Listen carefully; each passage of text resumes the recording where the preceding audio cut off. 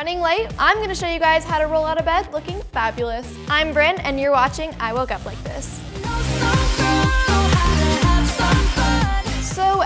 Has those days when you get out of bed and putting on real clothes is just not an option. So I'm gonna show you guys how to wear your pajamas to school. You just need your favorite comfy sweater and an awesome pair of leggings. Fall asleep in them and wake up and you're out the door. I have on my favorite cozy gray and black striped sweater, also a pair of leggings, and these ones are just my favorite cropped leggings. If you're gonna wear leggings, it's important to wear a long oversized sweater just because it looks better with leggings. If you feel like this is a little bit too lazy for you, you can always add some statement jewelry like a necklace to make it look just a little bit more put together.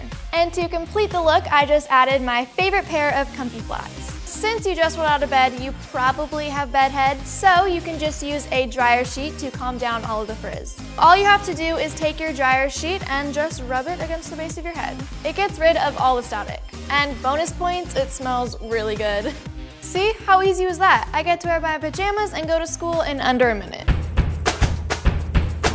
Sorry, Beyonce, but nobody actually wakes up like this, but you can get pretty close. Let me know what your go-to lazy outfit is. Don't forget to subscribe to 17. I'm Bryn, and I'll see you next time. Bye!